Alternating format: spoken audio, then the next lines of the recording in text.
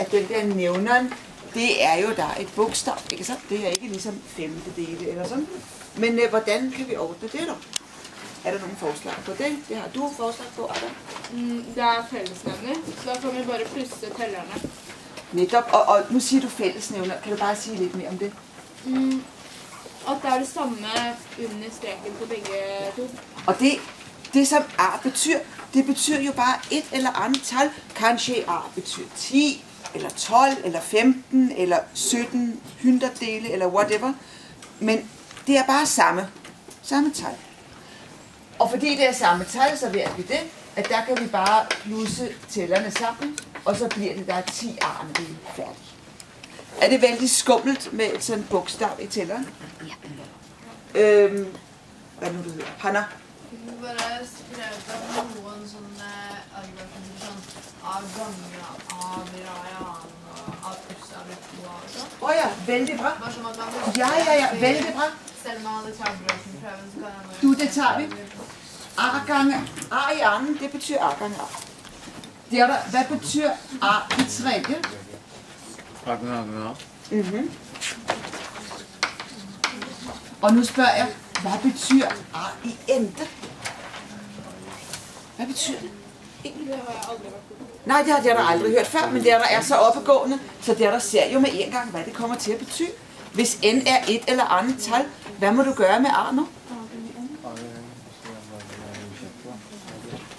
Øh, der er et forslag. A gange n.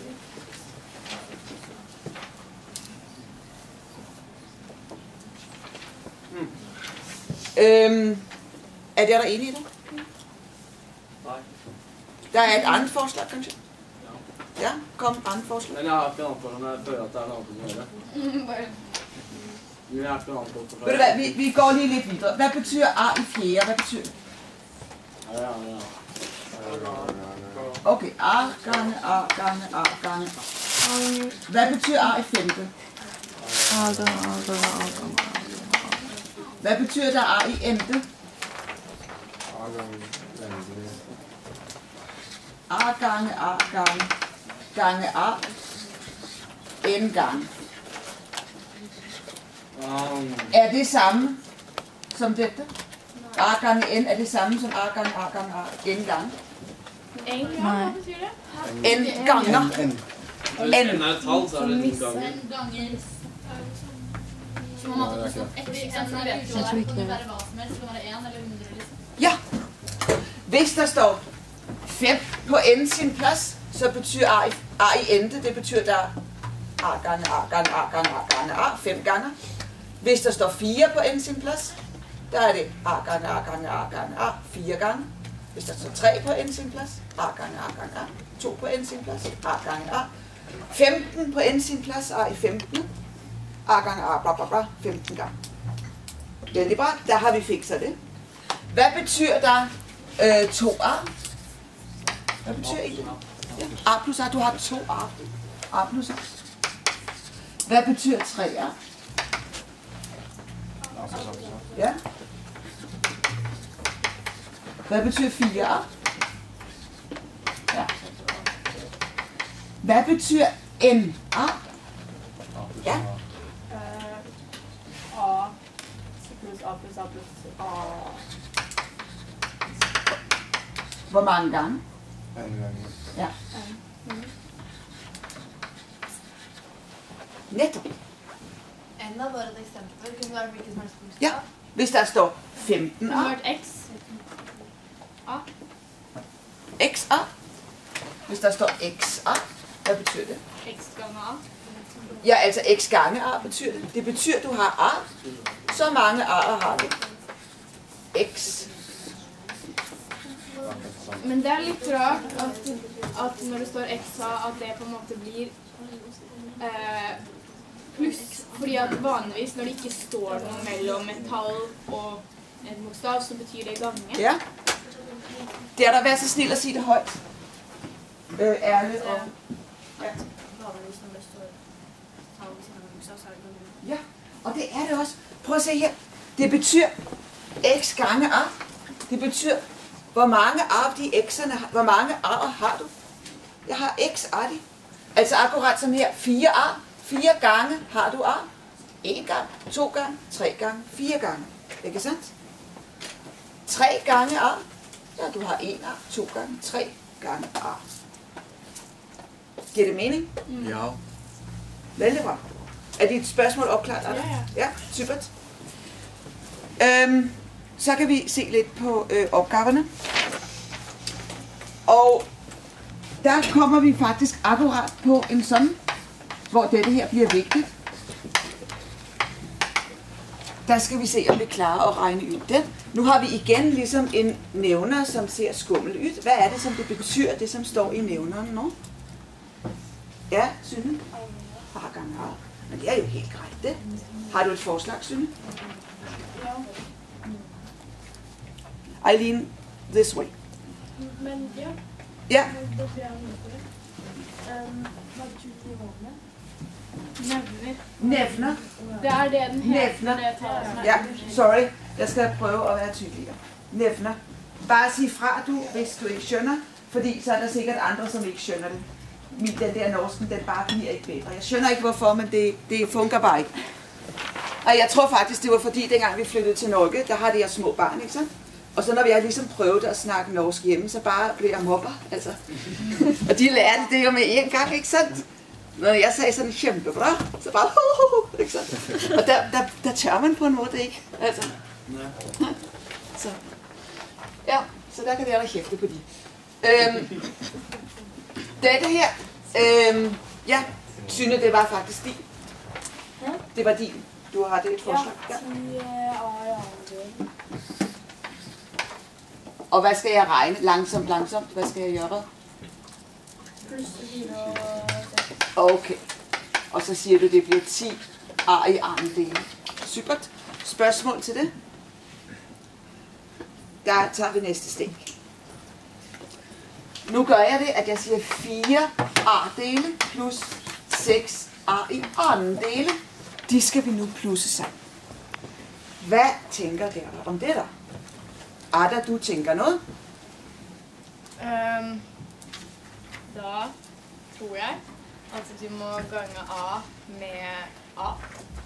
Det på den første. Opp og ned der. Og når man ganger op og ned, så hedder det Og ø, utvide. ja, udvide eller Forstørre. forlænge. Forlenge. Ja. Okay, du vil forlænge første brøken med A. Det vil sige, du vil gøre slik. Det er en vældig god idé, Ada. Hvorfor er det lyrt at gøre det? Får du fellesnevner. Okay, kan du bare hjælpe mig med at skønne, hvorfor at det bliver fællesnævner? Hvad sker der? Fordi A gange A er A i andre. Ah, det var A i andre. Og Og i, A, det blir 4A. okay, så denne her forlænger vi, og der kommer den til at blive den. Yes. Ja. Øhm, hvad med næste der? Ja, du vil gerne køre videre. Den eh, gjør du ikke noe med. Eller du kan gange med én. Ja, Ja. det gider vi ikke. Nei. Eh, Hvad tænker du nu, som den står nu? mm, nå tenker jeg at vi må plusse dem sammen. Okay, hvorfor går det pludselig? Fordi de har eh, lik nevner. Okay, A i andre dele, det er samme. Ja. Og så skriver jeg dette her. Ja. Er vi færdige? Jeg tror kanskje det, fordi 4A er ikke det samme som 6. Så hvis jeg skriver slik, Så blir det feil. For det betyr 10 ganger, og det er det. det er det. Vi har ligesom fire æbler plus seks et eller andet andet. Ja, det har vi ligesom. Ja. ja. Spørgsmål til den? Men kanskje Jeg vet ikke, da. Kan du stryke A? Åh, oh, tusind tak for, at du spørger. Altså, dette her var vi enige om, det ikke fungerer. Så spørger Ada, kan man stryge A? Og det, som du lyrer på, Ada, omgår, hvad er det, som du tænker, hmm, kanskje kan man... Så det blir 4 pluss 6A. Du tænker, kanskje kan man bare tage En 4 av- plus 6A. Du, du tænker sikkert slik, jeg kan tage den mod den. Ja. Ja. Så vil jeg gerne høre, hvad tænker der der om det? Det er jo et spændende forslag. Jo, du tænker noget om det. Øh, det er feil. Det er fejl. A, Ja, A, A, fordi A er ikke Det A. samme som A. Nei, jeg skjønte det. Øh, jo, hvorfor er det fejl? Hvorfor er det Det fejl? ville blitt et Eh, annet. jeg sa nettopp, eh, fordi A, ja, er ikke Det samme som A. Som fire A. Fordi Ja. Hvis man hadde puttet inn en verdi da, for A, si- sagt to, da, for eksempel, Ja, så det hadde ikke A i annen vært to ganger Det hadde vært fire. Mens så hadde det vært fire ganger fire. Lad os se. Ja. Hvis vi sætter ind A er lig 2, så ser vi, hvad det bliver. Så bliver det 4 gange 2 plus 6 delt på 2 i andre. Ikke sandt? Når A er 2. Dette her bliver 8 plus 6 er 14. 14 fjerdedel. Det bliver det, når jeg sætter ind et eller andet for A. Nu har vi bare taget 2, fordi det var enkelt. Okay? Så kan vi jo teste. Øh, vi undersøger. Hvis vi nu stryger, hvis vi nu stryger den mod den. Det var det, du lyrte på, ikke sandt? Mm. Så ser vi, hvad bliver der 4 plus 6 delt på A. Det er jo det, vi får igen, ikke sandt? Er det er der enige? Hænger det der på? Ja. Og det er ti A, og det er Vi sætter ind dette her øh, to grejer. Så står der 4 plus 6 delt på 2. 4 plus 6 bliver 10, delt på 2 bliver 5. Altså det bliver 5, dette bliver 14 fjerdedele. Bliver det samme? Nej. Nej. Altså vi ser i hvert fald, at det bliver fejl. Jo, du vil sige noget? Hvis du skulle gjort, hvis du stryker det, må du ikke skrive 3A i stedet for bare 4 i stedet. Stryker bare 1 A. Okay, det kan vi godt prøve. I stedet for, så siger du, vi tager, nu, nu, nu øh, vil jeg gerne vide det næste. Altså det, du mener, det kunne blive. Bare dikter tre år, så er du. Ja. Jeg at det er feil, men det er... Nej, nej, lad os bare prøve. Tre, det er tre år seks. plus 6. Fordi du siger, at jeg tager en ar ytter Ja, bare A. og bare ar. Vi sætter ind for ar. Okay? For ar lige 2. Ja. Så bliver det øh, 3 gange 2 bliver 6, plus 6 bliver 12. Delt på 2 bliver 6. Fungerer ikke. Øh, kan man stryge? Øhm, Emanuel. Ah, se her, mine venner. Dette her, som står i tælleren, der står plus. Dette er en sum. Hvis vi skal forkorte, hvis vi skal stryge, der kan ikke vi har et plus. Eller et minus. heller ikke et minus. Men, Emilie, Gange. gange. Kan man sette ut av, om Se her, Emilie, jeg tager nu et andet øh, stykke. Jeg tager dette her. Nu er der ligesom, ah, se, ser du, jeg har, det er et andet stykke, ikke sandt? Et andet regnestykke. Men nu kunne jeg tænke mig, Emilie, klarer vi kanskje at lage denne her slik, at vi kan forkorte? Ja, kan du hjælpe os? eh, eh, Ja, Ja, bare prøv du. Um, eh, men jeg tenkte bare å skrive A utenfor parentesen. Ved du hvad, det er en utrolig god idé. Vi sætter A ytten for en parentes. Og hvad står der igen i parentesen, du? Fire. 4. Og hvad mere? Det var den der. Fordi 4 gange A bliver 4A. Hvad skal der stå der? Seks. Ja, fordi 6 gange A bliver 6A. Ser der der? Den plussen, det her plusstykket, 4A plus 6A, det har Emilie laget om til et gangestykke. Det har hun laget om til A gange 4 plus 6. Ser der du det? Hun kan fortsatt ikke stryke, da, fordi det er jo ikke noe A i annen der oppe. A i anden har vi fremdeles der. Nu skal Emilie få lov at gå videre. Det er helt rigtigt, Emilie. Det er super bra. Hvad tænker du videre? Å Da ja. jeg du kan stryke en, en nede. Og det er fuldstændig rigtigt. Det er helt rigtigt. Du kan stryge den mod den. Jeg vil gerne vise, hvorfor man kan det.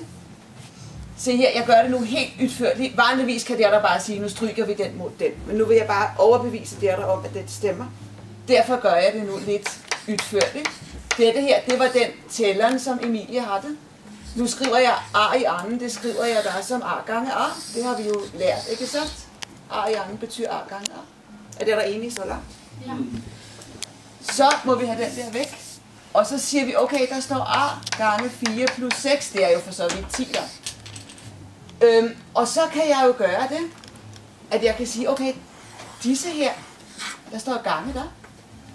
Så egentlig så kan jeg bare sige, at dette her, det er jo samme som A A'erne dele gange 4 plus 6 delt på A.